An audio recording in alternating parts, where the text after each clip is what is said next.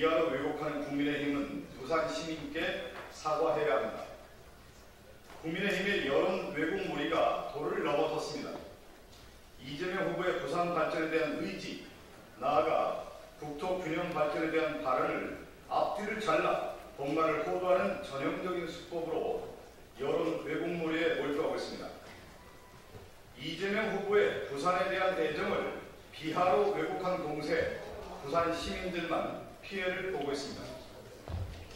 부산은 명실상부한 대한민국의 제2의 도시이자 동부가 써야 돼요. 다시 하겠습니다. 저도 다시 되나요? 예. 아니 마스크 벗어 된다고 제가 얘기를 들어서 쓰고 하겠습니다. 그 박성현 선대위 오전 음, 브리핑하겠습니다. 이재명 후보의 부산 사랑을 비하로 왜곡하는 국민의힘은 부산 시민께 사과해야 합니다. 국민의힘의 여론 왜곡 몰이가 도를 넘어섰습니다. 이재명 후보의 부산 발전에 대한 의지, 나아가 국토 균형 발전에 대한 발언을 앞뒤를 잘라 본말을 후보하는 전형적인 수법으로 여론 왜곡몰이에 몰두하고 있습니다. 이재명 후보의 부산에 대한 애정을 비하로 왜곡한 공세, 부산 시민들만 피해를 보고 있습니다.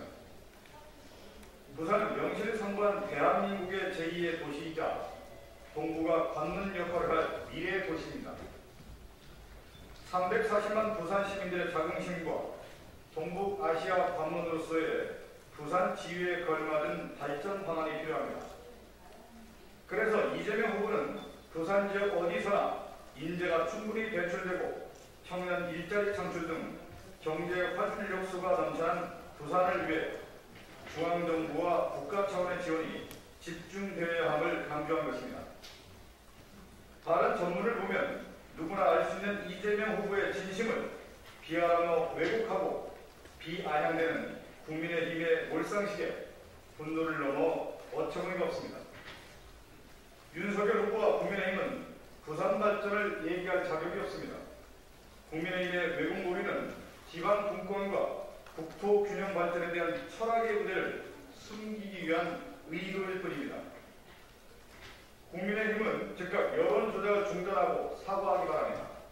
그 어떤 왜곡도 진심을 가릴 수는 없습니다.